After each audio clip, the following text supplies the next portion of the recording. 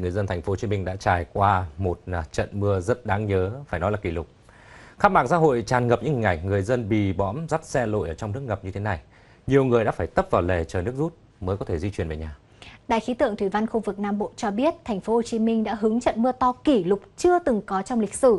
Số liệu mưa đo được tại một điểm ở quận 1 lên tới 203,2 mm. Theo đó, tại số 8, Mạc Đĩnh Chi quận 1, trong trận mưa đêm qua, lượng mưa đo được là 203,2 mm. So với chuỗi số liệu từ năm 1984 đến nay, lượng mưa trong 24 giờ thì trận mưa tối qua chưa phải là lớn nhất nhưng lượng mưa trong một trận mưa 203,2 mm tại quận 1 cũng như lượng mưa trong 60 phút là 92,1 mm tối hôm qua là lớn nhất từ trước tới nay tại thành phố Hồ Chí Minh. Đài khí tượng thủy văn khu vực Nam Bộ cho biết, hiện nay giải hội tụ nhiệt đới có trục đi qua Bắc Bộ còn tồn tại yếu, trong khi đó dạnh áp thấp có hướng là trục Tây Bắc Đông Nam qua Bắc Bộ và khu vực giữa Biển Đông hoạt động mạnh. Ở mực 5.000m tồn tại một vùng hội tụ gió trên khu vực Nam Biển Đông, gió Tây Nam có cường độ mạnh. Tại thành phố Hồ Chí Minh và Nam Bộ xuất hiện trận mưa to là do dạnh áp thấp có trục Tây Bắc Đông Nam nối với một vùng thấp ở ngoài khơi Nam Biển Đông hoạt động mạnh. Gió mùa Tây Nam chi phối thời tiết Nam Bộ có cường độ từ trung bình đến mạnh. Vâng và các chuyên gia khí tượng cũng nhấn mạnh lại thế này, hiện tượng mưa ở thành phố Hồ Chí Minh tối ngày hôm qua thì có 3 điểm bất thường. Cụ thể thứ nhất, khu vực thường duy trì kiểu hình à, thái là sáng nắng chiều mưa bắt đầu từ tháng 5 đến tháng 10, nhưng với thời lượng mưa mỗi ngày chỉ kéo dài tối đa từ 15 cho đến 30 phút và tối đa là 1 giờ. Nhưng mà hôm qua rõ ràng 2 tiếng và hơn 2 tiếng là một cái điều rất là bất thường. Thứ hai, các chuyên gia cho biết là lượng mưa tối qua là một lượng mưa rất lịch sử và chưa từng xuất hiện trong chuỗi số liệu quan trắc tại khu vực này. Và thứ ba, thời gian mưa thì trễ hơn bình thường. Cụ thể là những trận mưa ở trong giai đoạn này thường chút xuống vào chiều hoặc là chiều tối, tức là thời gian người dân tan à, tầm để đi làm về. Nhưng mà hôm qua thì mưa lại bắt đầu vào buổi tối ạ. Vâng ạ, và ngày hôm nay mùng 7 tháng 8 thì mưa vẫn còn diễn ra nhiều, vẫn có những địa điểm là mưa vừa đến mưa to. Thành phố Hồ Chí Minh từ ngày mai mùng 8 tháng 8 sẽ giảm mưa, mưa chỉ tập trung vào chiều tối và từ ngày 11 thì mưa lại tăng trở lại trên khu vực. Lầu Năm Góc cho biết trong một cuộc điện đàm với người đồng cấp Trung Quốc Ngụy Phượng Hòa, Bộ trưởng Quốc phòng Mỹ Mark Esper đã bày tỏ lo ngại về các hoạt động gây mất ổn định của Trung Quốc gần Đài Loan và Biển Đông. Bộ trưởng Esper nhấn mạnh Trung Quốc cần phải tuân thủ luật pháp quốc tế, các quy tắc quốc tế và thực hiện các cam kết quốc tế của mình. Đây là lần đầu tiên Bộ trưởng Quốc phòng hai nước có cuộc điện đàm kể từ tháng 3 năm 2020. Cuộc điện đàm diễn ra trong bối cảnh quan hệ giữa Mỹ và Trung Quốc xấu đi nhanh chóng vì nhiều vấn đề, trong đó có cả cách Trung Quốc kiểm soát dịch COVID-19, vấn đề Huawei, vấn đề Hồng Kông cũng như tuyên bố của Trung Quốc ở Biển Đông. Thời gian qua, Mỹ đã nhiều lần lên tiếng phản đối các tuyên bố chủ quyền phi lý của Trung Quốc ở Biển Đông và đã cử các tàu chiến tới khu vực này. Đoạn clip ghi lại hình ảnh người đàn ông cố tình đi khi barrier gác chắn tàu đã hạ xuống. Người phụ nữ gác chắn đã cầm mũ cối đánh vài phát cảnh báo cho người đàn ông này biết về sự nguy hiểm về hành động thiếu ý thức an toàn giao thông. Ngay sau khi đoạn clip được đăng tải lên mạng xã hội đã thu được nhiều bình luận, đa số mọi người đều đồng tình với nữ gác chắn tàu và cho rằng đây là hành động gian đe cần thiết. Ca khịa, chặn đầu ô tô, dừng xe giữa đường để hút thuốc khiến nhiều người bức xúc. Đoạn clip được camera hành trình của chiếc xe ô tô đi phía sau ghi lại cho thấy người đàn ông trung niên đi xe máy đầu không đội mũ bảo hiểm, chặn đầu xe ô tô dừng lại rút thuốc ra châm lửa hút. Tài xế chỉ im lặng đánh lái tránh né. Hành động mang đầy tính thách thức của người đàn ông tóc bạc khiến người xem clip bức xúc. Số đông đều cho rằng người này bất lịch sự và vi phạm luật giao thông. Được biết, đoạn clip trên ghi trên tuyến đường Đội Cấn Hà Nội. Trong 4 năm giữ cương vị Tổng Bí thư, ông Lê Khả Phiêu được biết đến là người luôn thẳng thắn, thể hiện sự quyết liệt, kiên trì trong công tác đấu tranh với tham nhũng, cán bộ sai phạm để làm trong sạch và bảo vệ sự vững mạnh của Đảng. Cho đến khi nghỉ hưu thì ông vẫn quan tâm những bước đi của Đảng trong thời kỳ mới với những góp ý quan trọng, đặc biệt là trong công tác cán bộ, khi chưa bao giờ nhiều cán bộ cấp cao bị xử lý do sai phạm ở rất nhiều các vụ đại án. Công cuộc xây dựng và chỉnh đốn Đảng là việc thường xuyên được cố Tổng Bí thư Lê Khả Phiêu đặt ra mạnh mẽ ngay trong nhiệm kỳ công tác của mình. Công cuộc này đến nay vẫn tiếp tục được đẩy mạnh. Nhiều ủy viên Bộ Chính trị, ủy viên Trung ương bị xử lý kỷ luật do sai phạm nghiêm trọng, không phải là điều mới lạ tại nhiệm kỳ 12 của Đảng. Ngay từ đầu nhiệm kỳ, dưới sự chỉ đạo của người đứng đầu Đảng, đứng đầu Ban chỉ đạo Trung ương về phòng chống tham nhũng là Tổng Bí thư, Chủ tịch nước Nguyễn Phú Trọng, thì nhiều vụ án lớn liên quan tới những quan chức mà dư luận thường cho đó là vùng cấm, như ông Đinh La Thăng, Trịnh Xuân Thanh, Vũ Huy Hoàng, vân vân. Bởi dưới con mắt người dân thì họ đang ở đỉnh cao quyền lực. Nhiều vụ đại án tiếp tục được các cơ quan của Đảng đưa ra ánh sáng. Vừa qua cũng đã khui ra được các thứ, thì tôi thấy đấy cũng là một cái bước mà mạnh mẽ của Trung ương của Bộ Chính trị, của Tổng Bí thư. Để có thể là tốt. Nhưng mà không phải như thế là xong. Mà là còn phải làm sao đến chỗ là mọi đảng viên nó phải tự giác để mình không vi phạm vào cái vấn đề pháp luật như vậy. Giữ cho con người mình trong trong trong tháng. Theo quan điểm của ông Lê Khả Phiêu tiêu chuẩn đánh giá cán bộ cần căn cứ vào nhiệm vụ vị trí công tác được phân công đã thể hiện được năng lực của người đó ở mức độ nào? Tôi thấy là vừa rồi nói chung là công tác cán bộ là có tiến bộ chứ không phải không có tiến bộ đâu cũng có cái mạnh mẽ hơn. Mà chính cái đó đấy, nó làm cho chúng ta đấy, trong cái vấn đề là xây dựng củng cố đảng đấy nó nó nó nó nó nó nó, nó tốt hơn lên. Và cái đúng cái sai trong đảng nó cũng phân minh hơn. Nhìn lại nhiệm kỳ 11 của đảng tại kỳ họp thứ tư Quốc hội khóa 13 đã ban hành nghị quyết về việc lấy phiếu tín nhiệm bỏ phiếu tín nhiệm đối với những người giữ chức vụ do Quốc hội bầu và phê chuẩn. Ông Lê Khả Phiêu đã rất ủng hộ lần đầu tiên Quốc hội bỏ phiếu tín nhiệm. Ông bày tỏ quan điểm đây là cuộc sát hạch kiểm nghiệm chất lượng nhân sự cấp cao. Do đó, đại biểu dân cử phải có bản lĩnh, tinh thần trách nhiệm cao với nhân dân, đất nước, khách quan, trung thực, vô tư, trong sáng. Có vậy mới rút ra được kinh nghiệm tốt để xây dựng cơ quan quyền lực của đất nước được vững mạnh. Quá trình tổ chức đại hội cấp cơ sở tại một số địa phương, chúng tôi đã phản ánh nhiều về hiện tượng gian lận phiếu bầu, bầu người có nhiều sai phạm vào vị trí lãnh đạo trong nhiệm kỳ mới. Thì gần đây xuất hiện hiện tượng bí thư cấp huyện, thị xã được chỉ định mà không phải bầu cử tại đại hội. Đáng chú ý là câu chuyện ở Bắc Ninh, khi sau 15 ngày được chỉ định, ông Nguyễn Nhân Chính, cựu bí thư thành ủy Bắc Ninh, đã rời vị trí và được điều động bổ nhiệm làm phó giám đốc Sở Lao động Thương binh và Xã hội của tỉnh này. Hiện tượng này dư luận ví von là nước cờ lạ trong công tác cán bộ.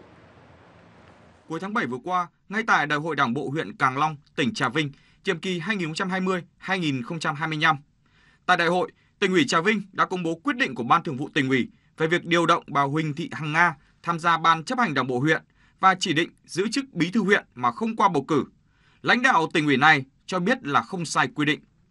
Cũng trong tháng 7, tại tỉnh Bắc Ninh, Ban Thường vụ tỉnh ủy này đã điều động ông Nguyễn Nhân Trinh mới 36 tuổi là con bí thư tỉnh ủy Bắc Ninh làm bí thư thành ủy Bắc Ninh chỉ sau khi đại hội thành phố Bắc Ninh đã bế mạc ít ngày trước. Trưởng ban tổ chức tỉnh ủy Bắc Ninh cho rằng việc bổ nhiệm ông Nguyễn Nhân Trinh là không sai quy định.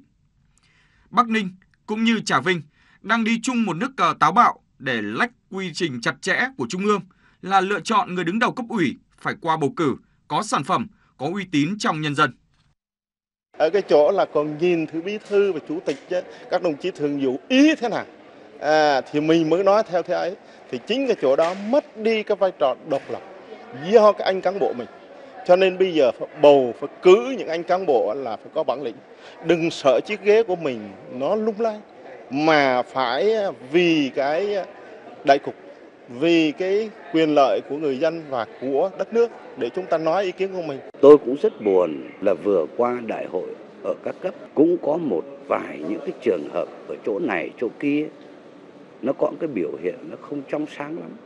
Đặc biệt là cũng có những trường hợp mà những người không xứng đáng vẫn lọt vào cấp ủy, mà để lúc người dân, để những người đảng viên, người ta phát hiện, người ta tố giác không phải là người ta móc, người ta moi, người ta làm xấu đảng đâu, mà chính là cái việc làm đó đã góp phần làm cho đảng trong sạch hơn sau 13 ngày ngồi chức bí thư thành ủy Bắc Ninh, con trai bí thư tỉnh ủy Bắc Ninh là Nguyễn Nhân Trinh đã được điều động giữ chức phó giám đốc Sở Lao động Thương binh và Xã hội.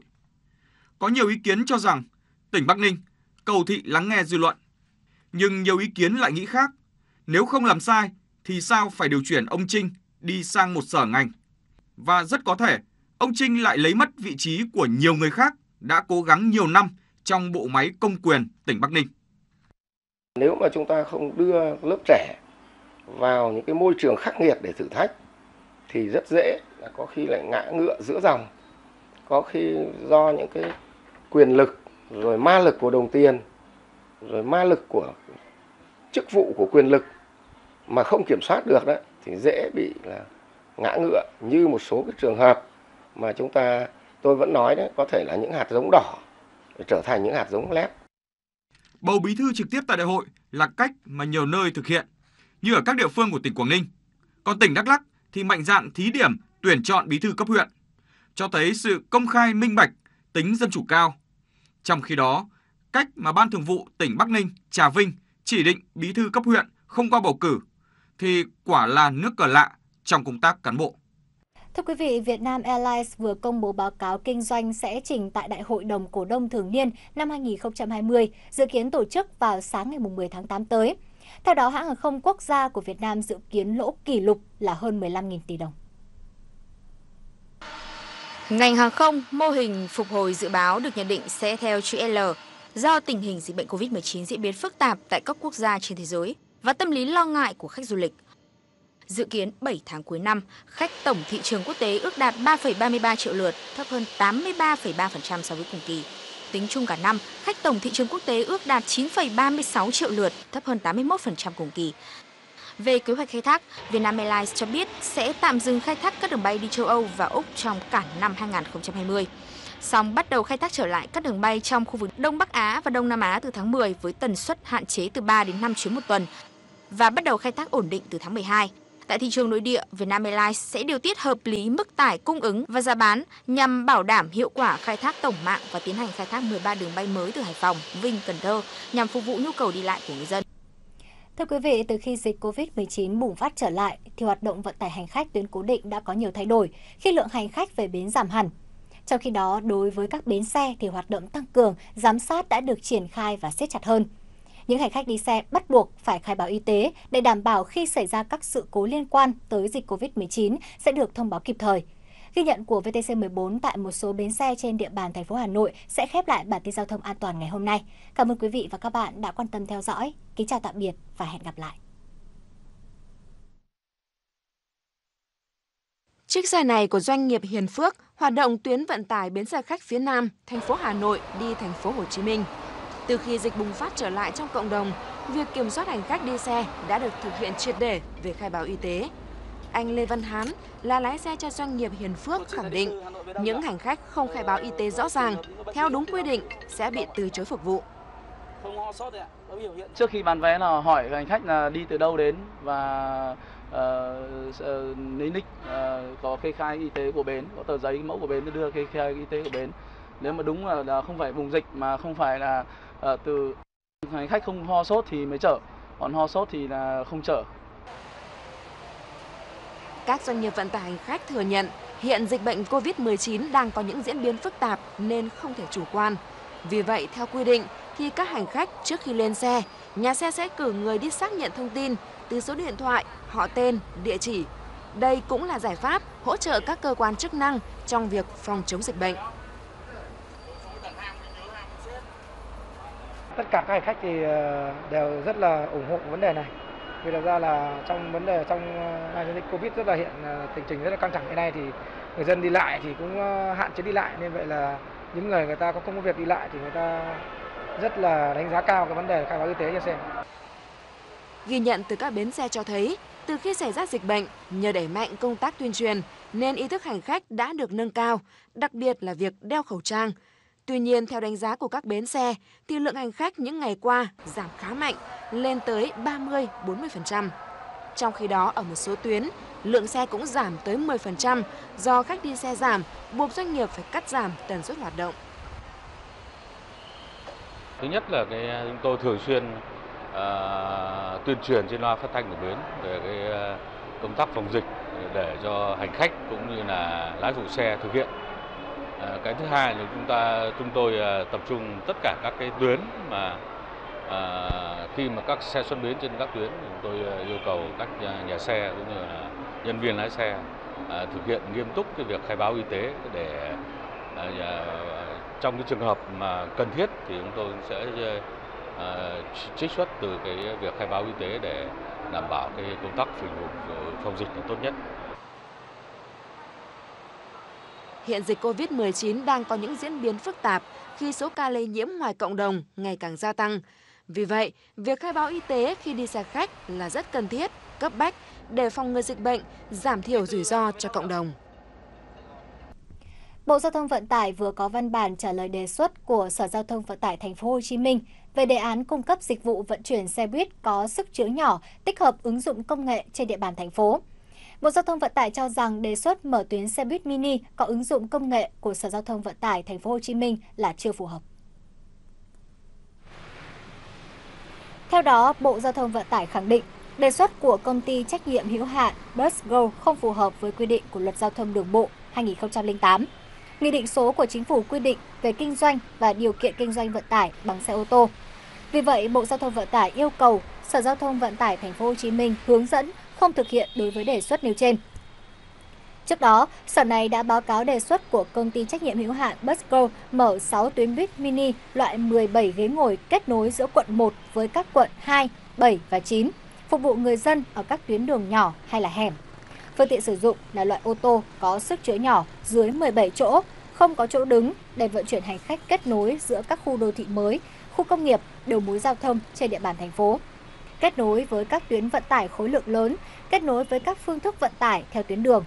Giá vé từ 30.000 đến 40.000 đồng trong giờ cao điểm và 10.000 đến 30.000 đồng giờ thấp điểm. Để mua vé, người dân tải phần mềm Godi để chọn giờ và đặt ghế ngồi, nhận thông tin về dịch vụ, chọn tuyến đường phù hợp, thanh toán bằng hình thức không dùng tiền mặt, thông báo biển số, lộ trình cho hành khách. Phương tiện loại hình này chỉ di chuyển dựa trên các thông tin đặt chỗ trước qua ứng dụng, không dừng ở những trạm không có khách đặt xe. Thưa quý vị, sáng ngày hôm nay mùng 7 tháng 8, Ban Quản lý Đường sắt Đô thị Thành phố Hồ Chí Minh cho biết, đến nay tiến độ thi công tuyến metro số 1 Bến Thành, Suối Tiên đã đạt 74,59% và phấn đấu đạt 85% trong năm 2020. Theo đó, gói thầu đoạn ngầm từ ga Bến Thành đến ga Nhà hát thành phố đạt 72,8%, gói thầu ngầm từ ga Nhà hát thành phố đến ga Ba Son đạt 85,9%, gói thầu trên cao và depot khối lượng thực hiện đạt 84,99%, gói thầu mua sắm thiết bị cơ điện, đầu máy toa xe, đường dây và bảo dưỡng đạt 58,4%. Hiện ga Nhà hát thành phố đến ga Ba Son đang được các kỹ sư lắp ray triển khai đúng kế hoạch dưới sự giám sát chặt chẽ của ban quản lý cùng nhà thầu Hitachi. Theo Ban Quản lý Đường sắt Đô thị, các công tác chuẩn bị cho việc vận hành kỹ thuật đang được Ban Quản lý các nhà thầu tiến hành khẩn trương thi công như nhà ga đón khách, khu bảo dưỡng tàu, khu rửa tàu, nhà điều hành. Tuy nhiên, do ảnh hưởng COVID-19, các chuyên gia nước ngoài làm việc cho dự án Metro số 1 vẫn chưa được nhập cảnh, khiến tiến độ dự án bị ảnh hưởng.